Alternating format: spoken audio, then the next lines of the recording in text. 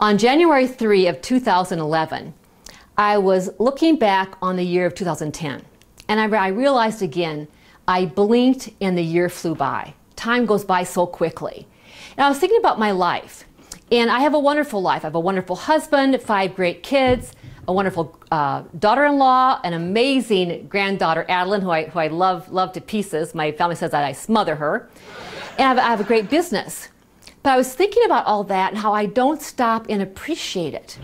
How people say, um, you know, to stop and smell the roses. I wasn't doing that. I thought, you know, I needed to um, feel more appreciation for my life. So I made a split second decision, in, in a matter of a second, that I was going to blog, and blogging isn't my online journal.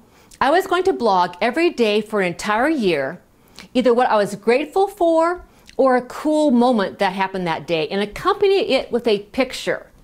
So I started that day, and on day 20, I thought to myself, oh my goodness, I have 345 more days to go.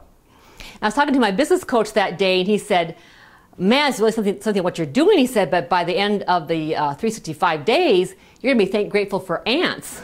so I made a vow that I would not repeat any of the, the, the, my grateful pieces, okay? But it was an amazing, amazing year that I had because I was grateful. It's amazing when you, I mean, try this. Try and whine and be grateful at the same time. It's just not possible. It's absolutely not possible. Now, if you're interested in seeing my year, my blog is elizabethhageninspires.com. elizabethhageninspires.com. You can see a kind of a chronicle of, of my year. And it really was one of the best years I ever had uh, personally and professionally. So I want to encourage you to go out and get a journal. When I say journal, I don't mean some old notebook from your son's fifth grade and now he's 21. I'm talking a really nice journal that's pretty, has really high quality pages, and make a commitment yourself for every night to write down either three things you're grateful for or things that were awesome that happened that day and watch your business and your life absolutely amaze you.